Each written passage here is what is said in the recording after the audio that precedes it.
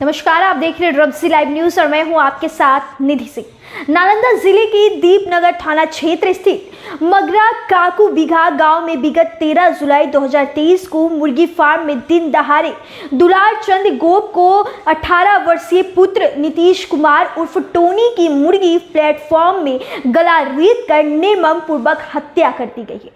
दो महीने से ज़्यादा बीत जाने के बावजूद अभी तक किसी भी आरोपी की गिरफ्तारी नहीं हो सकती है, जबकि इस घटना में आठ नामजद अभियुक्त बनाए गए हैं।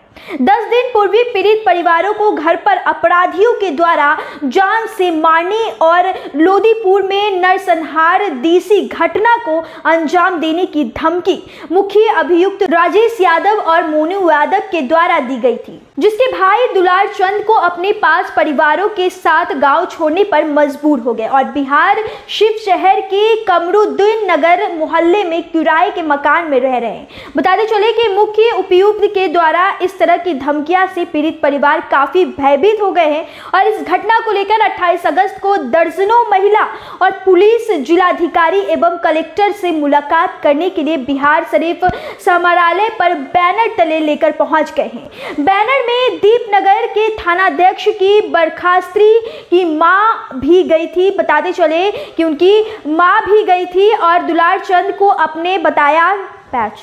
और दुलार चंद को अपने बताएँ कि अब तक दर्जनों से अधिक बार दीपनगर थानाध्यक्ष, चार बार डीएसपी और तीन बार एसपी से मुलाकात कर अपराधियों की गिरफ्तारी और जान की सुरक्षा की गुहार लगा चुके लेकिन अब तक कोई कार्रवाई नहीं किया जा रहा है। कोई भी सुरक्षा हमें नहीं दिया जा रहा है, जिसको लेकर अपराधियों का मनोबल साथ में आसमान पर है और पीड़ित परिवार पर घर छोड़ने को मजबूर है। इस संबंध में सदर एसडीपीओ डॉक्टर श्री नवनी ने बताया कि जाँच प्रक्रिया चल रही है और जाँच होने के बाद अपराधियों को किसी भी सूरत में बख्शा नहीं जाएगा और जेल के सराखों तक उन्हें पहुँचा दिया जाएगा।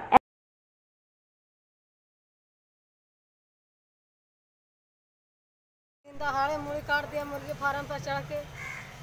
और फिर सिन्हा जोरी कर भी रहा। है कौन लोग किया था? सुरुजन राजेश। मृत्युंजय बवना सोहन सुरुजन सब आठ हम ताराचंद। अरुणेश यादव का भी नाम आ रहा अर- अरनेश हम्म? ये सब सब मिल के सब मिल के सब मुर्गे फार्म पर चढ़ गया। तो का- हल्ला भी करे तो नहीं सुना मुड़ी काट दिया। हमनी के भी मारा ठेल ढकेल किया। अभी भी धमकी अभी भी धमकी देता है कि सभी के मार देंगे। जे अभी के मारा लेते वो पुलिस तक नहीं लेता कुल्हे के मार के पचा लेंगे। क्या बोलता है? सुरुजन राजेश। अभी भी धमकी दे रहा है? हाँ धमकी देगा घर चढ़ा जाता है धमकी देगा तो दूर गया घर चढ़ा जाता है। कार्रवाई अभी नहीं हुआ पुलिस द्वारा? कोई कोई नहीं एस पी किया है कार्रवाई नहीं दरोगा किया है कार्रवाई कोई नहीं करता कोई सुन ही नहीं रहा आज कहाँ आए हैं? आज किन से मिलने के लिए आए हैं? डीएम के पास। एसपी के पास। फिर से आए हैं डीएम एस के पास मिलने लगी कि अब तो कार्रवाई करल जाए। तीन महीना बीते जा रहा है। तीसरा महीना हेलल है। क्या नाम हुआ आपका? सरस्वती देवी। मतलब अभी भी धमकी मिल ही रहा अभी भी धमकी मिली है जाता है सर? अभी भी कहता है के रहते हैं। घर द्वार छोड़ने भाई दूर सब जनता ने कहले हैं अब तो काको बिगा छोड़ दिए हैं। हाँ कहो के भैया छोड़ दिए एगो बच्ची रहता है एगो माँ खली रहता है। तो क्या बोलता है कि लोधीपुर में जैसे नरसंहार हुआ था उसी होगा। हाँ जैसे लोधीपुर में होला वैसे करके धार दो। घर पर चढ़ जाता है घर पर चढ़ जाता है गोली सामान सब लेके चढ़ जाता है घर पर सुरुजन को पर राजेश को। और अगर पाछे सब आता है जन्नी मरद से अब चढ़ जाता है।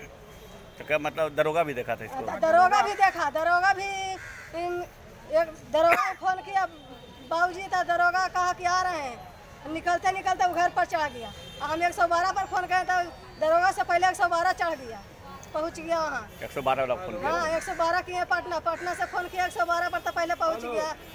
वहाँ। कितना दिन का ये मामला लग रहा है? तो वही महीने। ऐसी खबरें के साथ बने रहे हमारे चैनल रब्जी लाइव न्यूज़ के साथ। धन्यवाद।